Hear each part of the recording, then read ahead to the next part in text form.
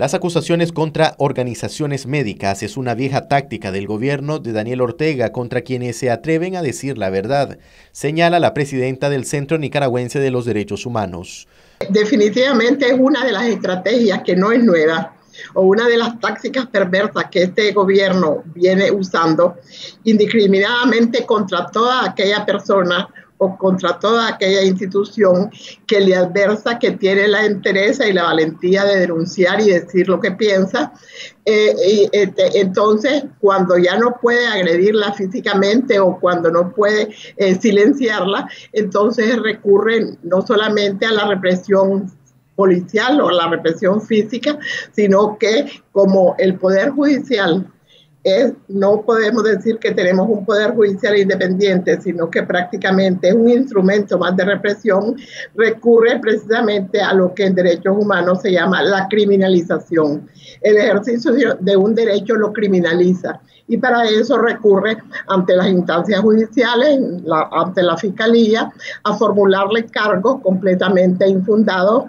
que con el objetivo de callarla, de intimidarla, pero además con el objetivo de descalificarla. Núñez recordó que han sido los médicos los que valientemente han dado la cara para proteger al pueblo de Nicaragua en medio de la pandemia del coronavirus. Entonces, todo aquel que alerte sobre lo irracional de la política gubernamental este, este, haber enfrentado a la represión de este gobierno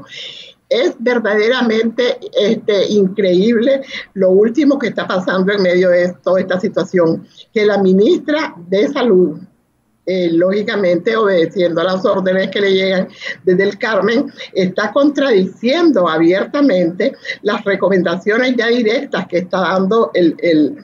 la Organización Panamericana de la Salud, que hasta cierto punto está cuestionando prácticamente la orientación de del, de la Organización Mundial de la Salud y la propia Organización Panamericana, este, que lo único que puede buscar cómo detener el contagio de la población es la em, eh, administrar, administrar masivamente la, la las pruebas. Sin embargo, ellos no dan información de qué han hecho con estas pruebas, pero además categóricamente dicen que con su eh, sistema de,